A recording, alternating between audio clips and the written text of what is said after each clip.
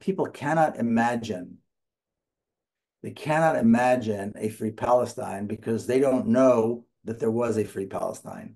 So, in order to imagine that a free democratic state on all historic Palestine with equal rights will actually benefit with is is the recipe for peace.